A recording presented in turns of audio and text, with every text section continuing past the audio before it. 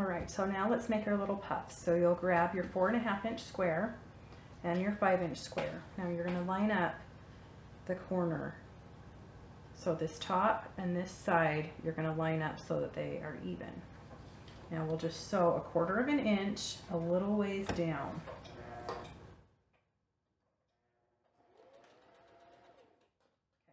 And then at this point, you're gonna take your bottom and line it up with the bottom of that backing piece, which is smaller. So it's going to have this uh, kind of a bunchy part. So just make a little bit of a pleat with it and sew right over the top.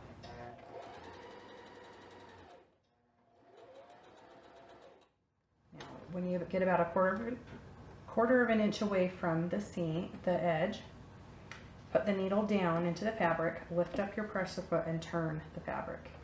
So you're going to go down the next side. So just go a little way. Then you're going to take your bottom of the fabric, line it up with the backing, and then make your little pleat somewhere in the middle. It doesn't have to be like exact, don't measure. It's just somewhere in the middle, make a little bit of a pleat so that it's flat. So right over the top of it, now put your needle down Lift your presser foot and turn your fabric again. Put the presser foot down and we'll just do this one more time. Lining up the bottom of the fabric, making a pleat somewhere in the middle and sewing over the whole thing.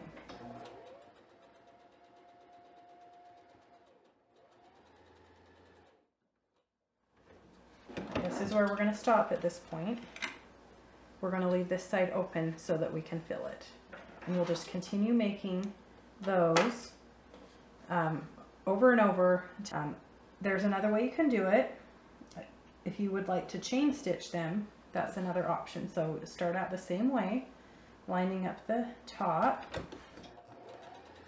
sew a little bit down, and then once again, line up your bottom edge of your fabric with the backing, make a little bit of a pleat.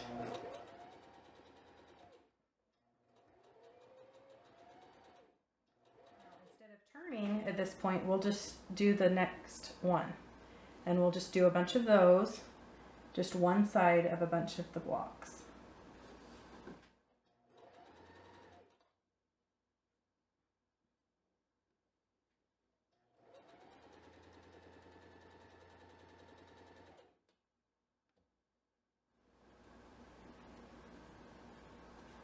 I want to do a different color. It doesn't really matter at this point what color you do or what order because once we get all of our little blocks done, we're going to lay them out into a pattern that we like.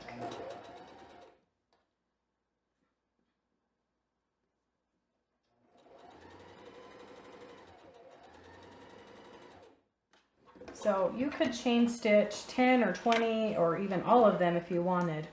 Um, just for the sake of the video, I'm just going to stop at three just to show you the next step. So you sewed this side, so basically you just turn it as if you had pivoted it.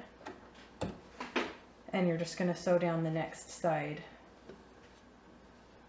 on all of those blocks that you just did the first side on.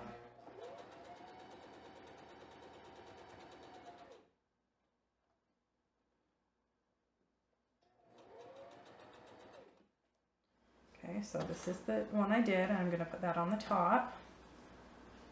Line up the bottom. Make a little pleat in the middle.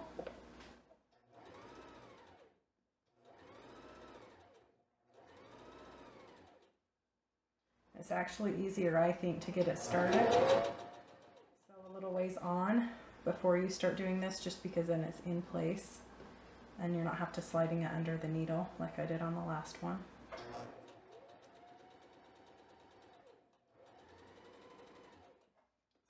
you would just continue to chain stitch that side of however many you had done. And then you'll do the third side. Just basically turn it and do that third side.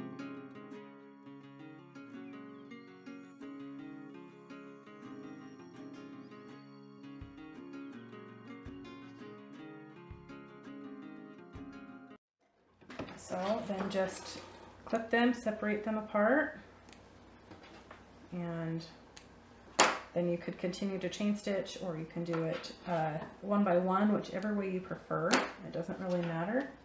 And maybe you get bored of one way, you just do the other way because there's a lot of these to make. Um, the next step will be, um, once these are all made, we will be laying them out on the floor into a pattern. Um, I'm just going to be doing a random pattern, trying to keep, you know, darks and lights somewhat separated so that there's not a whole bunch of darks together and a whole bunch of light fabrics together. Um, just arrange them on the floor and then we will stack them up and start sewing them into columns and stuffing them.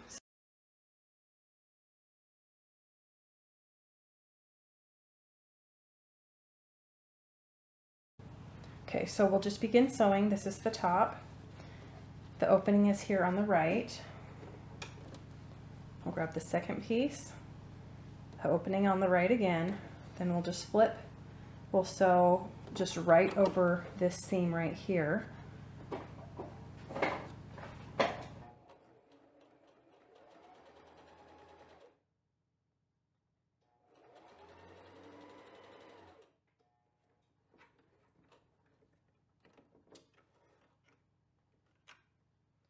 Okay, so there we have our first piece. And then we'll just continue this through the whole stack. Just adding to the bottom, make sure that the opening is on the right at this point. So try to kind of make it so that it's flat right here. And we'll put these right sides together. And then we'll just sew along that seam that's already there.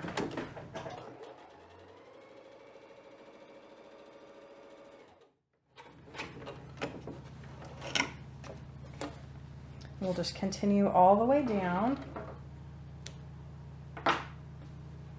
So I'll grab the next one in our stack, orient so that the hole is on the right.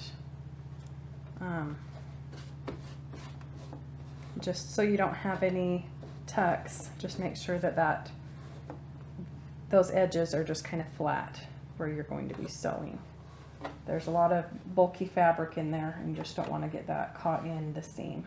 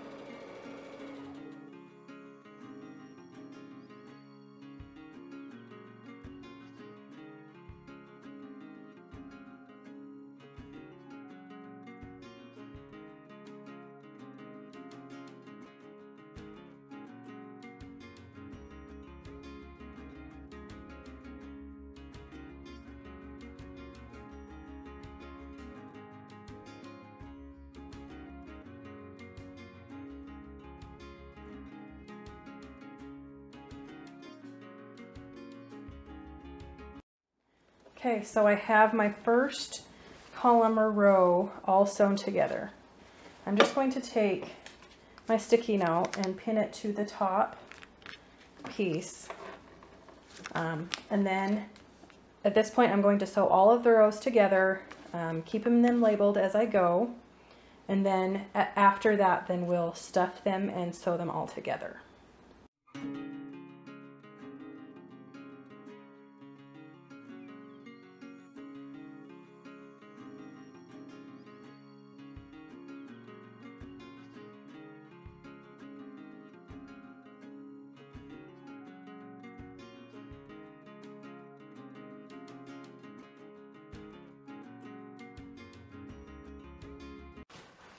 Okay, so we'll just grab a stuff, a handful of stuffing, and it's a little trickier to stick it in with the sewing machine there.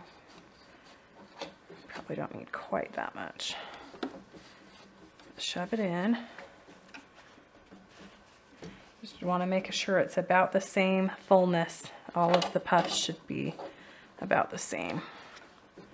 So you just shove it all in and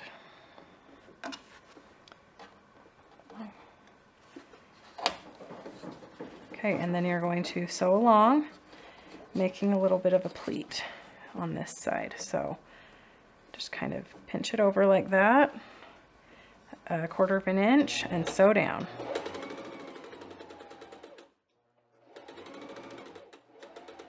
There we go. And then we'll get to the next spot. Add in some more stuffing.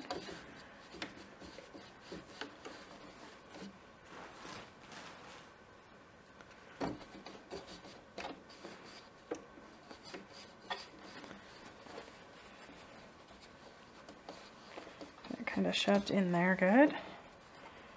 And then we'll make our little pleat. Kind of pull it, sew it straight and make a little bit of a pleat and sew right over it.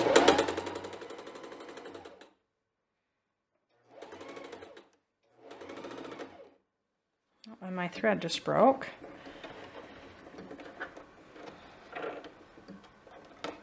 I'll just rethread it.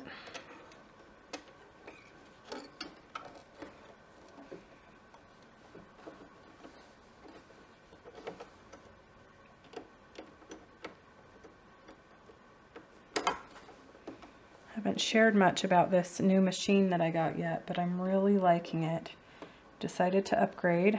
Um, it has a bigger neck here, which I really like for quilting. And it has a needle threader, which I've never had before, and it's pretty cool. Okay, so we'll move on. Get another handful of stuffing.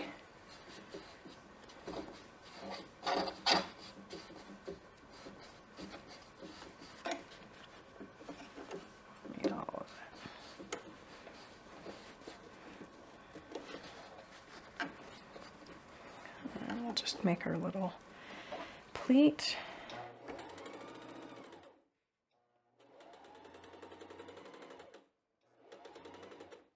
And just continue on until the whole row is done.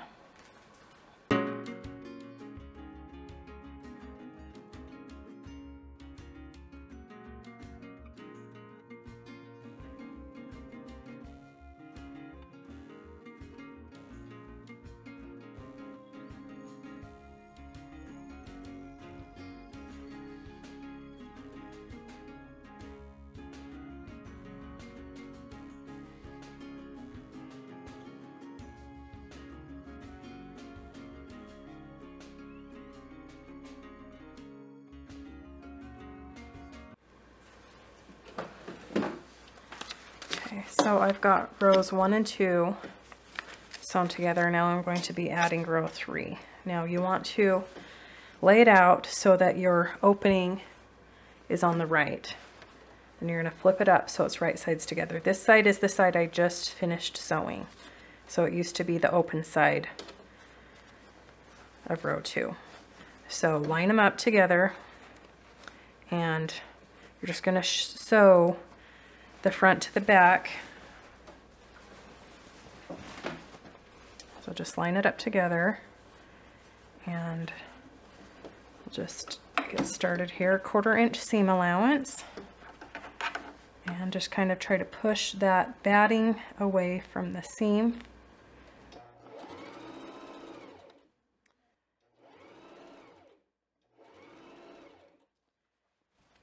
Kind of like to work in sections, a block at a time. So since there's all this uh, batting in the way, the seams don't necessarily line up um, easily. So just kind of shove it until it does. Um, and then sew over it. Okay, so I did that section, so I'll just get this one and I'll line up the two seams as best that I can. Um, make sure that that bottom piece gets caught in the seam.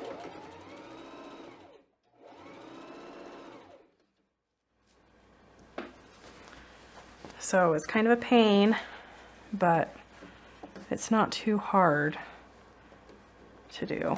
It's just kind of, that batting just makes it a little tricky. You could, if you fill it less, it's easier. That one had a little bit less I could feel in it. Um, but I also feel like that as it's used, the batting will kind of flatten out. So I wanted to fill it as full as I could so that over time it doesn't just completely flatten out. So there's kind of a balance there.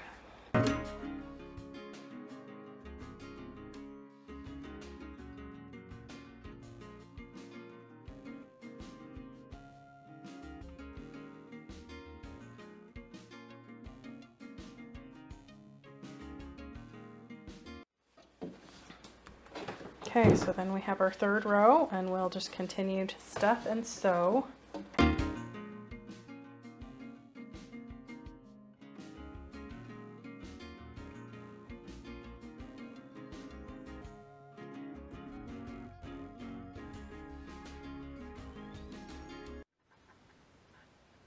So I have the quilt all put together and I have it laid out on the backing. So I just have, this is what the back's going to look like.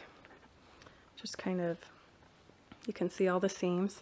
And then I have this fabric, which I absolutely love. Um, what you want to do is cut it out about four inches bigger all the way around the quilt. And we'll trim that off later, um, but then it's just best practice to do just so as the fabric may shift here and there, it's not too short on one side or the other. Um, at this point, I'm going to take some pins and I'm going to pin the, the front to the back kind of at some points. I'm not going to do every point, but just kind of evenly throughout the quilt, pin the top to the back. So you can see I've just kind of randomly placed some pins here and there. So for this, I like to use these special safety pins that are made especially for this.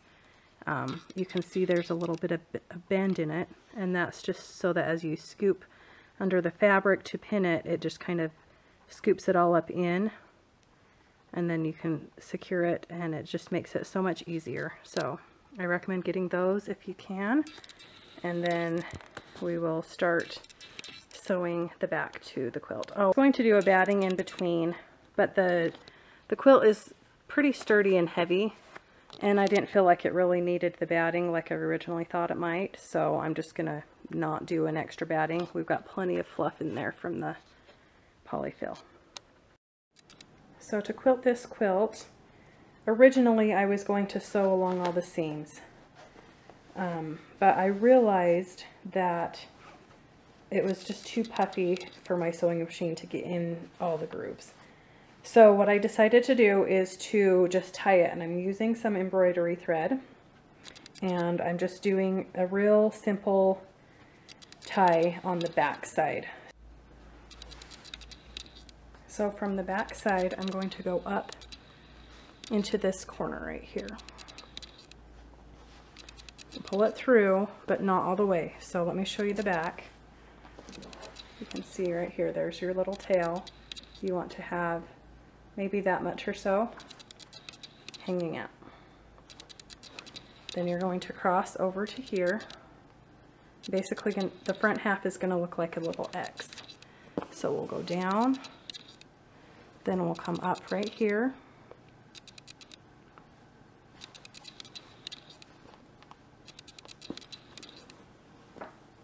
And then down in the opposite diagonal, opposite square.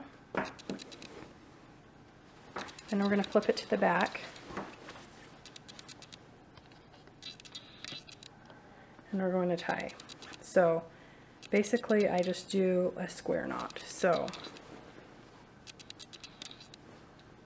right over left,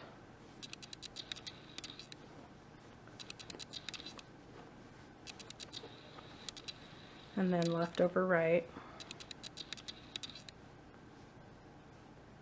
And then I just do it twice. So another right over left, left over right. And then I'll just trim the extra just like about like that. And that's all I do.